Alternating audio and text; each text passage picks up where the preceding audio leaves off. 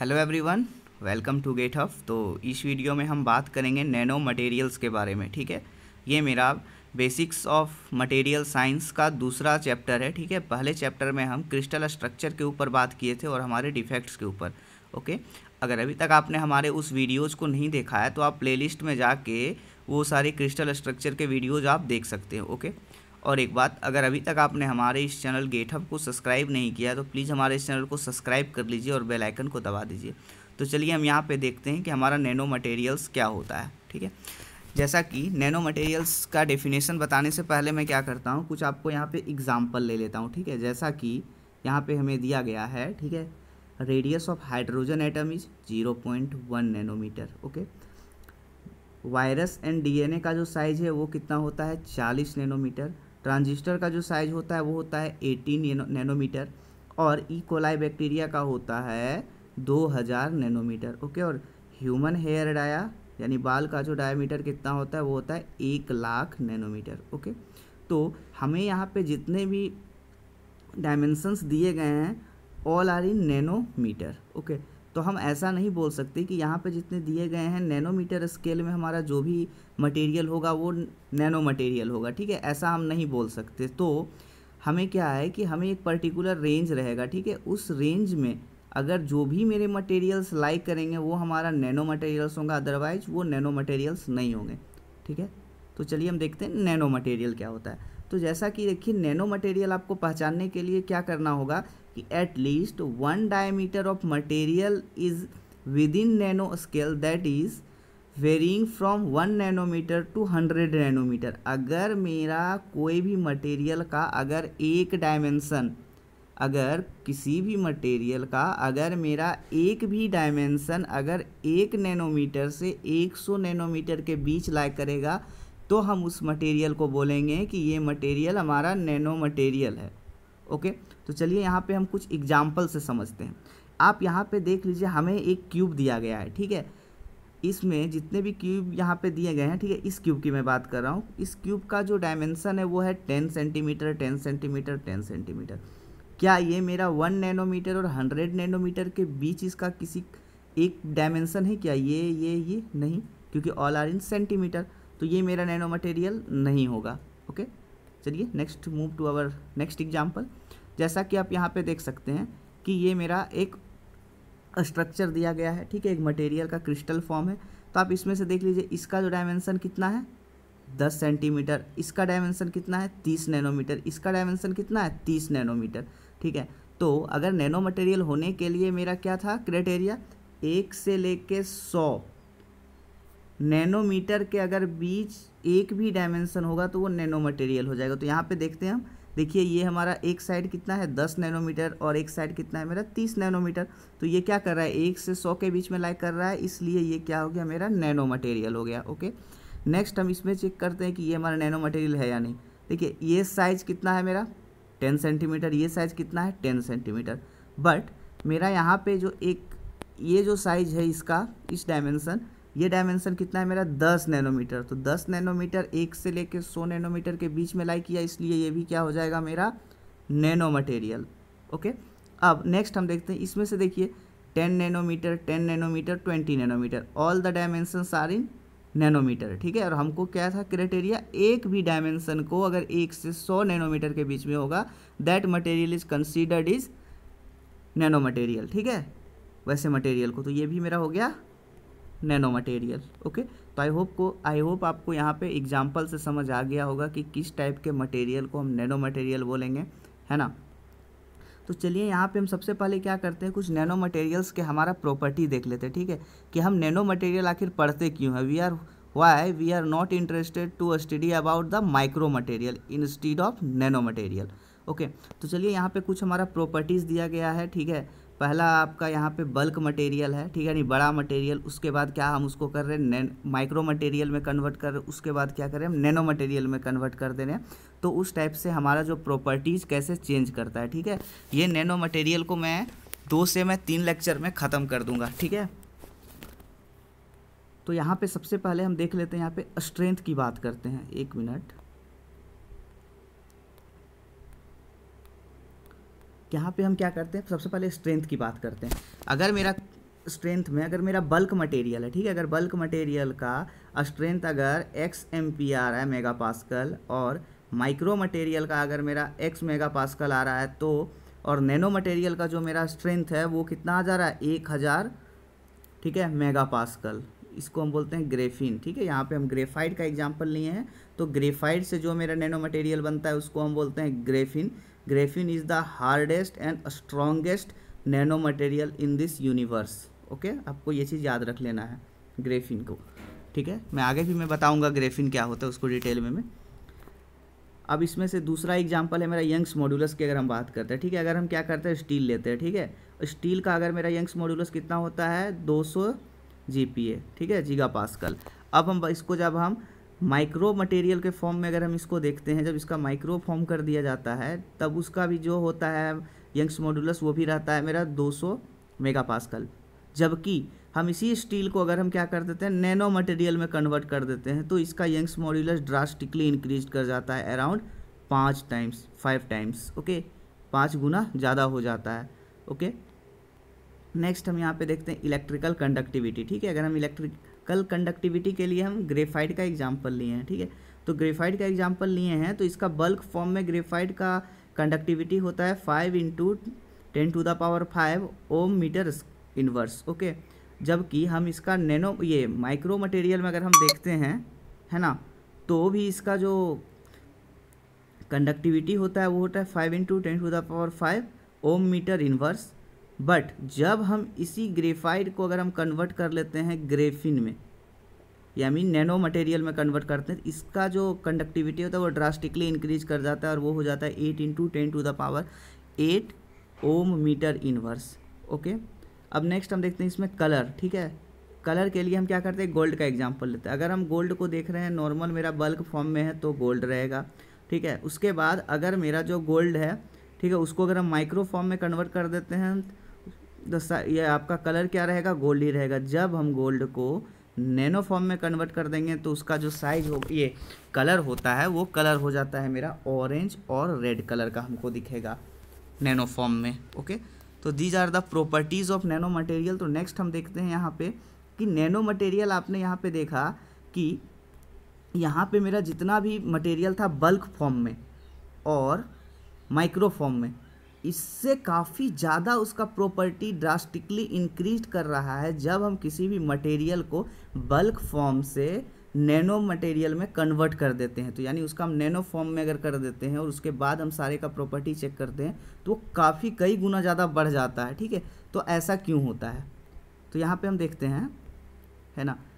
तो reason to show the extraordinary properties in nano material okay कि मेरा nano material का एक्स्ट्रा ऑर्डिनरी प्रॉपर्टीज़ कैसे आता है उसका रीजन पहला जो रीजन है वो है मेरा large surface area to volume ratio ठीक है? अगर हम क्या कर देते हैं, अगर मेरा ये कोई बड़ा मटेरियल है, अगर मेरा कोई एक बड़ा मटेरियल अगर हम इसको क्या करते हैं कट कर देते हैं, ठीक है? कट कर दिए इस फॉर्म में, है ना? फिर इस तरीक़े से काट काट के अगर हम इसको छोटे छोटे पार्ट में अगर हम इसको कन्वर्ट करके नैनो पोर्शन में अगर हम कन्वर्ट कर देते हैं इसको, ठीक है? नैनो पार्ट में तो इससे क्या होता है कि मेरा जो सरफेस एरिया होता है ना, एक एटम का, ठीक है? वो सरफेस एरिया मेरा बहुत ज़्यादा बढ़ जाता है यहाँ पे, ठीक है? जैसा कि यहाँ पे डेफिनेशन में दिया गया है with decrease in size of bulk material up to the nano level the surface area is increase drastically with constant volume and due to this large number of inside atoms reach reach the surface and these atoms are having high discrete energy level and also these atoms acts as a catalyst, increase the rate reaction. ठीक है कि जितने भी मेरे materials थे inside the bulk material वो क्या हो जाता है इसमें? सारे बाहर आ जाते हैं। कहाँ पे? मेरा सरफेस पे आ जाता है। Maximum of the atoms are present at the surface और जो सरफेस पे जो एटम आता है, ठीक है, उसका काफ़ी ज़्यादा हाई डिस्क्रीट एनर्जी होता है। यानी उसको किसी भी एलिमेंट के साथ रिएक्शन करने की कैपेबिलिटी काफ़ी ज़्यादा हो जाता है, ठीक है? जिससे मेरा रेट ऑफ़ रिएक्शन बढ़ जाता है। Next with decrease in size of bulk material up to the nano range, the crystallography imperfection are decreased and most of the defects are vanished, ठीक है? कि अगर मेरा किसी भी क्रिस्टल में, ठीक है, अगर मेरा सपोज़ इतना बड़ा मेरा मटेरियल है, ठीक है? अगर इसमें मेरा कुछ डिफेक्ट्स है सपोज़ मैं यहाँ पे दिखा रहा हूँ कोई डिफेक्ट्स है तो हम क्या करते हैं, नैनो मटेरियल के लिए उनको क्या छोटा छोटा पार्ट में इसको कन्वर्ट करना पड़ेगा? तो हम किसी भी मटेरियल को इतना छोटा कर देते हैं कि उसका जो क्रिस्टलोग्राफी इम्परफेक्शन और डिफेक्ट्स जो उसमें प्रेजेंट है, वो काफ़ी हद तक ख़त्म हो जाता है। ठीक है? कम हो जाता है और कहीं कहीं क्या होता है ना कि जो क्रिस्टलोग्राफी इम्परफेक्शन है, वो कम्प्लीटली ख़त्म हो जाता है वैनिश्ड हो जाता है। ठीक है? जिसके कारण मेरा जो मटेरियल होता है इन नैनो लेवल काफ़ी ज़्यादा ड्रास्टिकली उसका प्रॉपर्टी में चेंजेज आ जाता है। ठीक है? तो ये मेरा पहला रीज़न था, ठीक है? सरफेस एरिया के फॉर्म में। नेक्स्ट है मेरा quantum mechanical effect quantum mechanical effect में कहने का मतलब ये है, ठीक है? With decrease in size of bulk material up to the nano level the energy band structure is destroyed and due to that most of the bad conducting materials becomes good conductor okay कि जब हम किसी भी material को nano form में convert कर देते हैं तो जो एनर्जी बैंड जो होता है, ठीक है? जैसे कंडक्शन बैंड अगर ये मेरा सेमीकंडक्टर में पढ़े हैं कि यहाँ पे कंडक्शन बैंड और एक मेरा होता है वैलेंस बैंड ठीक है? ये कंडक्शन बैंड हो गया, ये हो गया वैलेंस बैंड तो इन दोनों के बीच में कुछ एनर्जी गैप होता है जिसको हम बोल देते हैं, ठीक है? एनर्जी गैप है ना? तो तो इस एनर्जी गैप जब तक मेरा फुल फिल नहीं होगा, ठीक है? इलेक्ट्रॉन यहाँ से मूवमेंट करके मेरा यहाँ नहीं जाएगा, तब तक उसमें कंडक्शन नहीं होगा, ठीक है? यानी वो कंडक्टर मटेरियल की तरफ़ बिहेव नहीं करेगा, है ना? तो बट यहाँ पे इतना छोटा साइज़ हो जाता है कि यहाँ ये जो होता है ना energy band energy band gap होता है, वो एनर्जी बैंड गैप ख़त्म हो जाता है, ठीक है? और किसी किसी मटेरियल में एनर्जी बैंड गैप काफ़ी बढ़ जाता है, ठीक है? जिसके कारण कुछ मेरे इंसुलेटिंग मटेरियल्स भी हमें क्या करते हैं? कंडक्टर की तरह बिहेव करने लगते हैं और कुछ मेरा कंडक्टर जो प्रॉपरली हाई कंडक्टिव एलिमेंट्स है वो क्या हो जाते हैं? सेमी कंडक्टर की तरह बिहेव करने लगते हैं ओके जैसा कि यहाँ पे एग्ज़ाम्पल है आपका the electrical conductivity of graphite is increase at nano level graphite पे कितना था इसका electric conductivity five into ten to the power five ohm meter inverse but जब हम इसको नैनो में कन्वर्ट कर देते हैं तो हमें बन जाता है ग्रेफिन और इसका इलेक्ट्रिकल कंडक्टिविटी हो जाता है eight into ten to the power eight ठीक है ओम मीटर इनवर्स तो आप देख सकते हैं यहाँ पे इतना प्रॉपर्टी बढ़ गया, ठीक है? यानी इतना ज़्यादा इसमें कंडक्टिविटी बढ़ गया. But some of the good conducting materials become semiconductor जैसा कि गोल्ड ठीक है? कि अगर हम गोल्ड को अगर गोल्ड तो ऑटोमेटिक मेरा गुड कंडक्टर ऑफ़ इलेक्ट्रिसिटी है. बट अगर हम गोल्ड को नैनो फॉर्म में कन्वर्ट कर देते हैं तो इससे क्या होता है? ये सेमी कंडक्टर की तरह ट्रीट करने लगता है. है ना? तो दोनों इसमें पॉसिबिलिटी है हमारा कि इंसुलेटिंग मटेरियल जो है मेरा, ठीक है नन कंडक्टर मटेरियल है, वो कंडक्टर भी बन जाता है और कोई कंडक्टर मटेरियल है, वो क्या हो जाता है? इंसुलेटर भी हो जाता है okay and most of the nano materials are not obeying ohm's law ठीक है? कि मेरा बहुत ज़्यादा जो मेरे नैनो मटेरियल्स होते हैं ना, वो ओम्स लो को फॉलो नहीं करता है ओके तो यहाँ से आपको रीज़न समझ में आ गया होगा कि नैनो मटेरियल से हमारा जो प्रॉपर्टी किस प्रकार नेचुर उसका ओरिजिनल जो बल्क फॉर्म में है और उसके बाद अगर हम उसको नैनो फॉर्म में कन्वर्ट कर देते हैं तो इतना ज़्यादा उसका प्रॉपर्टी में चेंजेज कैसे आता है? ओके तो चलिए हम यहाँ पे देखते हैं फेब्रिकेशन ऑफ़ नैनो मटेरियल्स यानी नैनो मटेरियल्स को हम कैसे बनाते हैं? तो नैनो मटेरियल्स को बनाने के लिए हमारे पास दो अप्रोच हैं, ठीक है? पहला जो अप्रोच है वो है टॉप डाउन अप्रोच मेथड, ठीक है? टॉप डाउन अप्रोच मेथड में क्या करते हैं कि अगर हमारा बल्क मटेरियल है, उसको धीरे धीरे धीरे धीरे हम काट काट के उसको नैनो फॉर्म में कन्वर्ट करते हैं, यानी छोटा कर देते हैं, ठीक है? जैसा कि यहाँ पे आप देख रहे हैं ये बल्क फॉर्म में, ठीक है? इसको हम क्या कर रहे हैं? काटते गए काटते गए उसके बाद काटते काटते एक ऐसा टाइम आएगा जब ये किसमें कन्वर्ट हो जाएगा? माइक्रो मटेरियल में, ठीक है? जब ये माइक्रो मटेरियल में कन्वर्ट हो जाएगा, उसके बाद फिर हम इसको फर्दर इसको हम डिवाइड करते जाएँगे तो फिर ये मेरा किसमें बन गया? नैनो मटेरियल्स में। है ना? तो ये मेरा नैनो मटेरियल बन गया। अब इसमें से देखिए जो प्रिंसिपल है, इसमें जो प्रिंसिपल यूज़ होता है, वो होता है मेरा कटिंग या स्लाइडिंग ऑफ़ मटेरियल, ठीक है कि हम स्लाइड कर देंगे छोटा छोटा या फिर उसको काट काट के हम नैनो मटेरियल में कन्वर्ट कर देते हैं। तो इसका जो कुछ हमारे ऑपरेशंस हैं, ठीक है, कुछ मेथड्स हैं तो पहला मेथड है मेरा ball milling operation, number one. Number two है मेरा लिथोग्राफी मेथड। लिथोग्राफी मेथड का तीन और मेथड है, ठीक है? Photolithography, electron lithography and plasma lithography, ठीक है? एग्ज़ाम में आपको इनमें से एक कोई भी मतलब मेथड पूछा जा सकता है कि कौन सा टॉप टू हमारा अप्रोच है, ठीक है? टॉप डाउन अप्रोच है और कौन सा? हाँ इसमें से बॉटम अप अप्रोच है। तो इसमें से हम देखते हैं सबसे पहले एडवांटेज इसका मैं, इस मेथड का मेरा एडवांटेज क्या है और डिसएडवांटेज क्या है? पहला एडवांटेज ये है ना इजी एंड टाइम मतलब लेस टाइम कि हम जल्दी किसी भी बड़े मटेरियल को काट काट काट के छोटा कर सकते हैं, जिसमें मेरा आसान से हम काटेंगे और टाइम भी हमको कम लगेगा। दूसरा चीज़ है इसमें ना लो कॉस्ट हमें ज़्यादा कॉस्ट नहीं लगता है। और तीसरा है सेमी स्किल्ड लेबर ठीक है कि हमको बहुत ज़्यादा स्किल्ड लेबर की ज़रूरत नहीं पड़ती है। बट इसका कुछ डिसएडवांटेजेज ये हैं कि हम कब, नैनो में अगर इसको कन्वर्ट करेंगे किसी भी बल्क मटेरियल को तो इसका जो साइज़ है वो नॉन यूनिफॉर्म रह जाता है, ठीक है? उसमें किसी प्रकार का इम्प्योरिटीज़ आ जाता है है ना? और डिफेक्ट्स बढ़ जाते हैं। तो यहाँ पे देखिए डिफेक्ट्स इसमें कैसे बढ़ते हैं? तो मैं इसमें एक एग्जांपल दे रहा हूँ एक मेथड का, ठीक है? जैसा कि यहाँ पे बॉल मिलिंग ऑपरेशन मेथड इस बॉल मिलिंग ऑपरेशन मेथड में क्या होता है कि ये एक राफ्ट होता है, ठीक है? और बीच में मेरा सपोज़ ये गोल्ड मेटल है। रेड वाला जितने हैं ना, सारे गोल्ड मेटल हैं। बाकी जितना है ना, वो मेरा क्या है? हार्ड बॉल्स है, ठीक है? बाकी ब्लू वाला ना हार्ड बॉल्स है। तो हार्ड बॉल्स और गोल्ड वाला जो क्या है, यहाँ पे गोल्ड आपस में ये क्या करेगा, घूमेगा बहुत स्पीड वे में, ठीक है? जब ये घूमेगा तो ये आपस में टकराएँगे गोल्ड और हार्ड बॉल्स, जिसके कारण क्या होगा कि कभी कभी ऐसा पॉसिबिलिटी है कि दो हार्ड बॉल्स भी आके आपस में टकरा जाएँ और उसका भी कुछ फॉर्म मेरा गोल्ड का जो पाउडर बनेगा उसके साथ मिक्स हो जाएगा, जिसके कारण इसमें क्या होता है इम्प्योरिटीज़ मेरा बढ़ जाता है और डिफेक्ट्स भी ज़्यादा रहने के चांसेस मेरे बन जाते हैं। ओके, इस मेथड में, है ना? नेक्स्ट आता है इसमें method bottom up approach okay?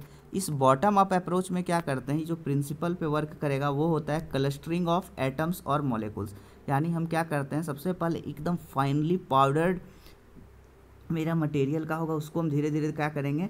Cluster करके, यानी हम मोलिकुल्स को एक जगह जमा कर करके उसको हम क्या करेंगे? नैनो फॉर्म में कन्वर्ट करेंगे। जैसे ये एटम्स था, ठीक है, इसको क्लस्टर किए तो ये क्या बन गया? मोलिकुल्स बन गया। फिर इस मॉलिकुल्स को क्या किए क्लस्टरिंग किए हैं। तब मेरा बन गया नैनो फॉर्म में आ गया। है ना? तो इसका देखिए कुछ एग्जाम्पल्स हैं, कुछ मेथड्स हैं हमारा। पहला मेथड है केमिकल वेपर डिकम्पोजिशन मेथड ठीक है? तो इस मेथड से हम क्या करते हैं? बनाते हैं नैनो मटेरियल दूसरा इसमें मेथड जो है मेरा, वो है physical vapour deposition method third is solution gel technique sol gel technique next है मेरा मोलिकुलर सेल्फ मेथड ओके है ना? अब इसका चलिए सबसे पहले देखते हैं एडवांटेजेस एंड डिसएडवांटेजेस ठीक है? बॉटम अप अप्रोच का. बॉटम अप अप्रोच में देखिए एडवांटेजेस जो है वो आता है इसमें ना हम यूनिफॉर्म साइज़ जो भी हमको साइज़ का चाहिए यूनिफॉर्म साइज़ को, क्योंकि छोटे छोटे पार्टिकल्स को एक जगह पे जमा करके हम उसको नैनो मटेरियल में कन्वर्ट करेंगे तो ये इसका साइज़ यूनिफॉर्म हो जाता है नंबर वन और दूसरी चीज़ें इसमें क्या होता है ना इम्प्योरिटीज़ नो इम्प्योरिटी यानी इम्प्योरिटी नहीं होता है रीज़न कि जब हम मेरा कोई भी पाउडर इतना फाइनली जब वो छोटा छोटा हो जाता है तो उसमें किसी प्रकार का डिफेक्ट्स नहीं है। है ना? यानी हमको प्योर फॉर्म में वो पाउडर फॉर्म में मिलता है। तो उस पाउडर को क्या करेंगे हम क्लस्टर करके धीरे धीरे करके उसको बड़ा फॉर्म में, यानी नैनो मटेरियल में उसको कन्वर्ट कर लेंगे, जिसके कारण इम्प्योरिटीज़ नहीं होता है। अब इसमें जो डिफेक्ट के चांसेस होते हैं, वो भी एकदम ज़ीरो के बराबर होते हैं नो डिफेक्ट्स है ना? नेक्स्ट इसमें जो डिसएडवांटेजेज है ना, वो होता है मेरा high cost and skilled labour की ज़रूरत पड़ती है हमको, ठीक है बॉटम अप अप्रोच में। क्योंकि हमको छोटे मटेरियल को बहुत ध्यान से, उसको बड़ा नैनो फॉर्म में उसको कन्वर्ट करना है ओके तो this is all about nano material ठीक है? तो इस वीडियो में इतना ही, मैं नेक्स्ट वीडियो में टाइप्स ऑफ़ नैनो मटेरियल के ऊपर बात करूँगा, ठीक है? So thanks for watching this video यह वीडियो आपको अच्छा लगे तो प्लीज़ लाइक कर दीजिए, और अगर आपका कोई सजेशन है तो प्लीज़ कमेंट बॉक्स पे कमेंट करके आप अपना सजेशन दे सकते हैं। Okay thank you